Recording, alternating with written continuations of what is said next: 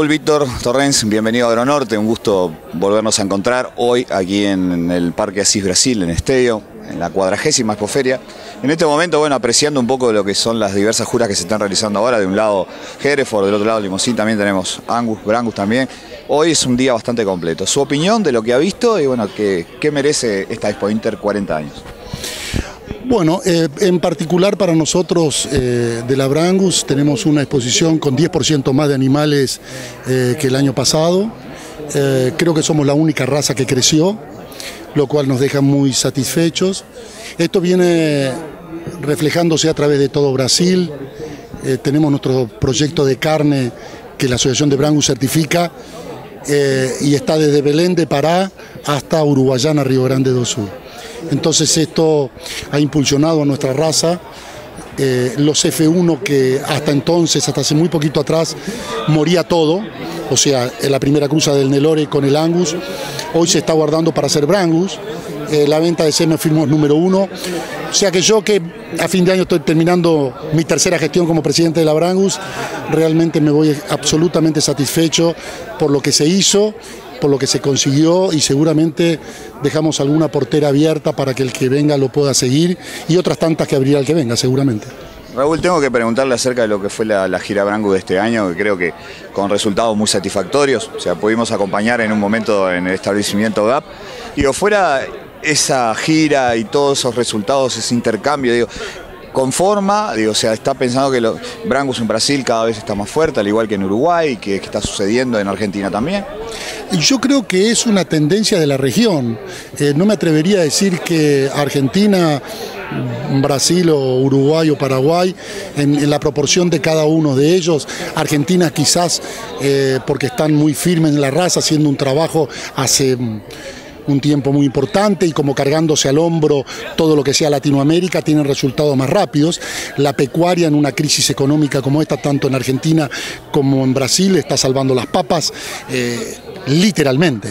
Entonces eh, creo que, eh, que, es de la región y creo, nosotros hicimos un eslogan que dice Brangus, la raza sin frontera. Y yo creo sinceramente en eso. Creo que el futuro le pertenece a la Brangus por todas sus calidades, porque tenemos un aliado que es la, agricultura, la agricultura está cada vez desarrollándose más, cada vez llegando a lugares donde hasta hace muy poquito tiempo atrás no se presentaba, no se pensaba en sembrar nada y hoy se está sembrando, con lo cual nuestra hacienda cada vez para lugares más marginales. Y realmente, independiente de pasiones o no, Brangus está hecho para lugares marginales. En la provincia de Buenos Aires, encima de alfalfa, todos somos buenos. Hablando un poco de los números del productor brasileño de Branco, ¿usted está conforme con los números que está arrojando hoy la raza? Está muy conforme. Muy conforme fundamentalmente porque este año y el año pasado eh, estamos comenzando a vender eh, hembras eh, con mucha demanda. Cosa que hasta hace un tiempito atrás eran los machos que se necesitaba para los rodeos, pero nada más.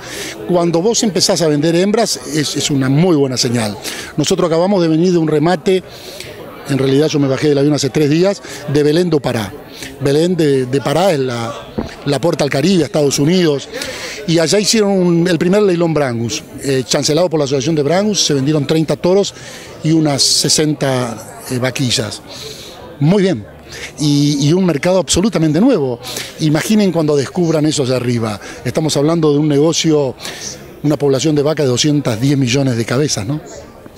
Ingeniero Fernando Mato, bueno, finalizó la, pista de Bradford aquí en la Expo Inter, bueno, eh, ¿cuál es su conclusión al final? Bueno, teníamos el objetivo que era participar. En definitiva, nuestra principal función fue estar aquí presentes, el primer toro Bradford uruguayo presente en la Expo Inter, una pista muy difícil, muy competitiva.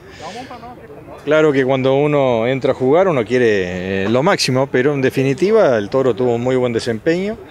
Eh, Obviamente no vamos a cuestionar el, fallo del jurado, que es soberano, porque de eso se trata.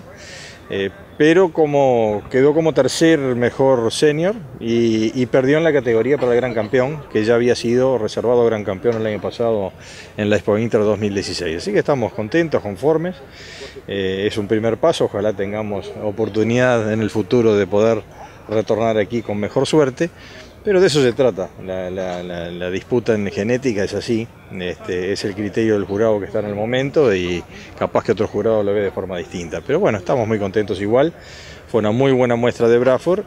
Eh, pero reitero que lo más importante que nos trazamos como objetivo era tener el Braford presente por primera vez y ojalá que ese sea el camino para que otras, este, que nosotros reiteremos la presencia en el futuro y que otras cabañas uruguayas también se animen y podamos tener eh, en el futuro una presencia más continua y más marcada aquí en este mercado, que es un gran mercado para el Braford en toda la región. Se queda acá ese toro, ¿no? Sí, el toro está contratado por la central alta Progen. Eh, recordemos que ese toro cruzó la frontera en enero en una eh, sociedad establecida con la cabaña de don Pedrito Rincaunda Figura, que, y en nombre de esa cabaña fue que vino aquí a, la exposición. Este, y bueno, vamos, eh, vamos a definir ahora cuál es el destino del toro, pero el toro está contratado por esa central, ya tuvo varios meses en la recolección de semen y este es, y este es el mercado que queremos abrir.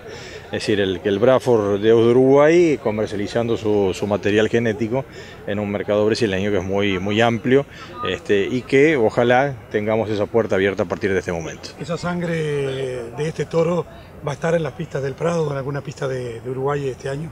Bueno, es probable porque nosotros ahora lo que nos vamos a abocar es tener em, descendencia de él, todavía es muy joven, son, son terneros los que están, pero probablemente ya el próximo año hermanos o hijos van a estar eh, en las pistas seguramente tanto en el Prado como, como en otras exposiciones del interior. ¿Las características del toro? Es un toro muy carnicero, eh, tan es así que poco llamó la atención que uno de los aspectos eh, que criticó el jurado en su presencia, como elogiándolo en su carácter general, pero habló de exceso de musculatura cuando nosotros entendemos a nuestro criterio que su gran virtud. Es la gran musculatura que tiene, que es absolutamente natural y que le da una conformación carnicera en justamente en el sector de la, de la carcasa donde se valorizan los cortes y por lo tanto creo que lejos de ser un defecto para nosotros es una gran virtud. Bueno, después del acto protocolar donde se inauguró bueno, el stand del pabellón, dentro del pabellón internacional el stand de, de Uruguay, donde se nuclearon varias intendencias este año. Artigas eh, tiene su lugar, estamos con el intendente Pablo Caran. Pablo, un gusto realmente, como siempre, volvernos a encontrar hoy en Estéreo, en esta oportunidad muy especial, promoviendo, difundiendo todo lo que tenemos para ofrecerle al turismo que llega a Artigas. Tu resumen, bueno, lo que has visto, tu impresión de, todo lo que ha sucedido esta mañana y bueno, ¿cómo se encuentra? Bienvenido. Eh, un gusto estar contigo, la verdad que muy contento de estar acá, Artigas eh, presente con el stand que eh, has tenido muchas visitas. Eso es, importante para, para, Artigas, para el departamento, pero también hay otras intendencias que han venido a apoyar y bueno, es bueno para el país y cuando es bueno para el país es bueno para todos. Se estrechan vínculos, ¿no, Pablo? Se, tocan algunas cosas que de repente por ahí en otros momentos no se puede dar, aquí se puede. Y acá es una oportunidad de, hacernos conocer, de, incentivar lo que nosotros tenemos. Ahora estábamos hablando, eh, Artigas es el mayor, eh, uno de los mayores productores de arroz, uno de los mayores productores de carne ovina y bovina. Este, tenemos eh, la piedra que es, es única, eh, las ágatas y amatistas y bueno, eh, tenemos un potencial enorme, tenemos un, turismo que lo podíamos explotar más con el tema de las canteras, pero bueno, por algo yo siempre digo las cosas tienen un comienzo y nosotros a través de la Intendencia buscamos incentivar todo lo que genere mano de obra. Pablo, esto termina acá en Estadio dentro de un par de días, pero lo que es la difusión, la promoción de todo lo que es Artigas, va para el Prado este año una vez más. Sí, vamos para el Prado. Acaba de llamarme el intendente de Durando, Carmelo Vidalín. Este, vamos a estar en, octubre eh, en Durando. Qué dudo, disculpe que le dije. vamos a estar en Durando este, en, el medio de octubre y bueno, también vamos a estar en Chinalac, en, en Maldonado. Este, eh, invitado también por el intendente de, Maldonado, nuestro amigo Antía. Pablo, dentro de todas esas invitaciones que llegan y todo, sabemos que a veces se pone un poco complicado el tema de la logística, ¿no? De uno de repente trasladar, moverse. Eh, convencer de repente a la gente que, es importante para el departamento, que ahí no están involucrados intereses personales. Digo, como que nos falta un engranaje más y creo que estamos de acuerdo, ¿no? Yo no voy a citar nombres, no, no voy a decir quién ni qué, pero creo que habría que imponer de repente alguna cosita más para que el año que viene esto brillara más todavía lo que ha brillado este año? Eh, yo siempre digo que a veces eh, para que alguien no se suba al avión lo, tiramos para abajo, nosotros no subimos y los otros tampoco. Es una medida bastante egoísta. Eh, tenemos que creemos que tenemos que trabajar más en conjunto. Nosotros a través de la Intendencia hemos apoyado a, los pequeños artesanos de la piedra, lo hemos llevado a recorrer toda la feria del país. Lamentablemente hoy no podían estar acá por un tema este, impositivo, había que, tener eh, una empresa acá, ¿no? Una empresa este, generaba mucho gasto y no iba a tener retorno. Pero bueno, nosotros lo vamos a, seguir apoyando y el año que viene, si Dios quiere, lo vamos a tener acá porque vamos a buscar la manera de, este, sin costo de poder traerlos. Amigos, eh, una tarde hoy con un poco de nubes aquí en Estedio, ya haciendo el final de nuestra jornada, visitamos la casa de Baguetti, que como siempre nos atiende muy bien, hoy estamos aquí mano a mano, como dice el chaleco de este hombre, con el eh, freno de oro 2017 aquí en Estedio, no, no quiero tapar el, el close. Bueno, vamos a presentarlo al, caballero, a, su monta que está aquí, me mira medio serio. ¿eh? Bienvenido a Agronorte, un gusto recibirte, felicitaciones por el logro. Eh, ¿Tu nombre, la cabaña? Uh, meu nome é Eduardo Weber de Quadros, eu sou de Carazinho e eu tenho um centro de treinamento mano a mano. ¿Cómo se llama la, la figura que está? Capa Negra Quinta Sinfonía. Capa Negra, Quinta Sinfonía. Eh, él nos va a contar la historia, pero tiene mucho que ver ¿no? con la parte de, la música clásica, ¿no? ¿Es así? Yo te, preguntaba antes de la entrevista el, Capa Negra y por qué Quinta Sinfonía. Sim. Capa Negra é o criatório dela, né? Ela foi nascida na cabanha Capa Negra, foi comprada pela cabanha Gameleira de Goiás, então eles têm essa parceria. E Quinta Sinfonia é o nome dela. E durante a competição, um primo meu me mandou uma mensagem, porque Quinta Sinfonia quem fez foi o Ludwig Beethoven, e o meu avô era Ludwig, então tem alguma coisa o velhinho lá de cima deve ter feito assim em relação a isso. ¿La genética del, eh, es 100% riograndense, o sea, de, de Brasil, o, o, tiene otros padres? Tem alguma coisa do Chile, tem alguma coisa do Chile. Em, em, que, em que tipo? Ela é filha do Capa Negra Jacarta, numa mãe que tem. É, então ela mescla em todo que é. Tanto na linha alta dela como na linha baixa, ela mescla o sangue do horneiro, que é o chileno, que vem importado do Chile. Quiero preguntarte acerca de la competencia, del freno en realidad. ¿no? O sea, pudimos apreciar algo de lejos, porque la verdad que no, no podíamos estar muy cerca.